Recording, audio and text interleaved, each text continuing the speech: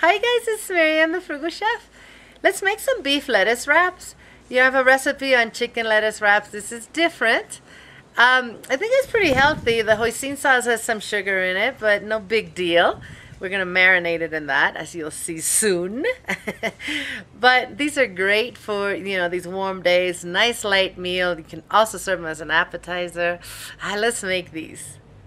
So let's work on our marinade. I have half a cup of soy sauce in here. I'm going to add another half cup of rice vinegar. And I'm going to add two tablespoons of hoisin sauce. I'm adding a red chili pepper, which I uh, just, you know, membrane and seeded. Of course, that's optional, as always, guys. And I have a tablespoon of minced fresh ginger and about a tablespoon of minced garlic. I'm just gonna mix this. And we're gonna pour it over our meat. I have two pounds of flank steak here, which I cut really thin pieces you know, long like this against the grain. We're gonna marinate this overnight.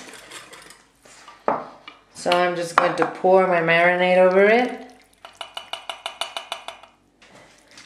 Make sure it all gets covered.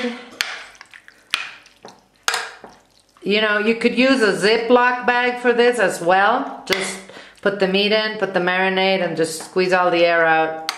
I'm just gonna use this Pyrex bowl. But it's, see, it's all nicely covered. I'm gonna cover this and refrigerate it and I'll see you guys tomorrow. I have about half a cup of bamboo shoots. I bought them sliced in the can and I just cut them into thin slices like this so we can add it to our beef. I did the same thing with half an eight ounce can of water chestnuts. Just cut them into, you know, slices like this. I'm gonna keep the remainder bamboo shoots and water chestnuts in the refrigerator and make a stir fry out of them. So I'm gonna heat a couple tablespoons of peanut oil in this uh, wok style skillet. I want it to get really, really hot. You know, if you don't have peanut oil, please don't stress. You can use regular vegetable oil if you want. So guys, my oil is really hot here. Um, I took the beef out of the marinade. I just strained it and I'm gonna cook it in batches. This is gonna jump. I already did one, so you see little things in there. And I added a little more peanut oil to my pan. So we're just gonna cook.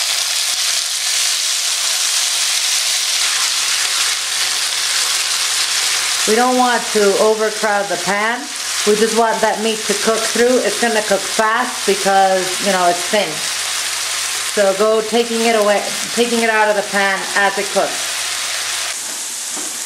Okay, I put all my meat back together. There's some juice that got rendered, that's cool.